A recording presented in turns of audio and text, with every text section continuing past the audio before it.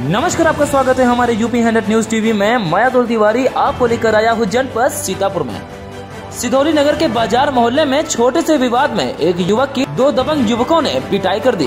प्राप्त जानकारी के अनुसार, थाना कमलापुर अंतर्गत ग्राम बरेठी, निवासी अमन जायसवाल मोटरसाइकिल से कहीं जा रहा था। तभी पकड़िया चौराहे के पास वह किसी महिला से टकरा गया। जिससे वह मोटरसाइकिल रोक कर उसे उठाने लगा। इसी बीच बाज़ार मोहल्ले के निवासी शैलू कश्यप व शिव बालक कश्यप आ गए और उन्होंने युवक की कलर पकड़कर मारना शुरू कर दिया। स्थानीय पुलिस ने प्राथमिक दर्ज करके अमन को चिकित्सकीय जाँच के लिए सामुदायिक स्वास्थ्य केंद्र भेज दिया है। सीतापुर से मोहित श्रीवास्तव के साथ आप देख रहे हैं यूपी हंड्रेड न्यूज़ टीवी। क्या हुआ था आपके साथ? हम सामान लिए हॉस्पिटल जा रहे थे। सिलौली मेडिकल स्टोर से अस्पताल के लिए और वहाँ जिस वहाँ पकड़िया पकड़िया चौरा के पहुँचे। एक दादी आ रही थी तो हमारी बाइक में अचानक आकर घुस गई।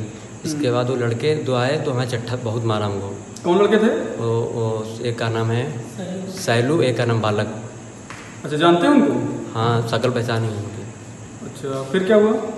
फिर इसके बाद जब फिर हम उठे फिर हमको मारा चलते भैया कहा तुमको हम देख लेंगे तुमको फिर मारेंगे यहीं पर जब मिलोगे। आपने तहरीर दी कहीं पे? हमने थाने में तहरीर दी है। कोई कार्रवाई हुई अभी तक?